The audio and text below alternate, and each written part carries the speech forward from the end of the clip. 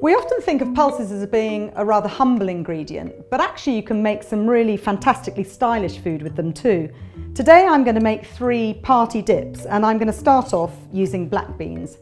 I've softened some onion and some garlic in a little olive oil and I'm going to add that to the food processor. The next thing I'm adding are the smoked chipotle peppers. I'm going to chop them roughly just so I don't get any great big hot bits of fiery chili in the puree. Now it's time for the black beans to go in and some lime juice, a good dollop of sour cream and some just lightly crushed cumin. A little pinch of salt and you're pretty much there.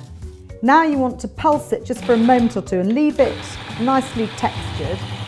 And then it's time to have a taste because you can never be sure quite how hot those little chilies are. You want to see what's going on. And I think I could have just a touch more salt and definitely a little bit of heat. So I'll put a couple of drops of Tabasco in there. So I'm going to tip that into a little serving bowl and then add a dollop of sour cream and some freshly chopped coriander. And that's dip one done. And now we're on to some roast pumpkin hummus.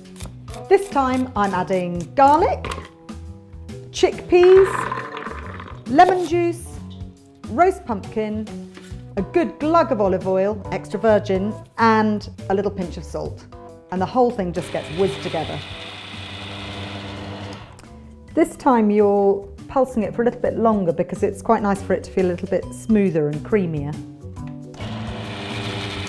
That goes into a little bowl and then it's up to you, but I like a bit of spicy harissa in there. That goes on the top, little bit of chopped parsley and that's dip number two done and we're on to the last one. Cannellini beans this time with some garlic, some lemon, a little bit of salt and some olive oil. That gets whizzed together and then it's ready to go into a mixing bowl because this time I'm going to add a bit of beetroot. This has just been roasted until it's tender and then it's going to go into the blender with a little bit of ground coriander and some dill. Add the beetroot mix to the cannellini puree and just give it a little swirl, don't overdo it. Pop it into a little serving dish, splash on a bit of extra virgin olive oil and a little sprig of dill and you're done. So we've got some smoky black bean dip with chipotle peppers. We've got a hummus with roast pumpkin and some lovely harissa on the top, a cannellini and beetroot dip. And I'm going to serve those with some crudités, some chips and crisps, and they look really beautiful. What a great way to start a party. And it's all down to three fabulous pulses.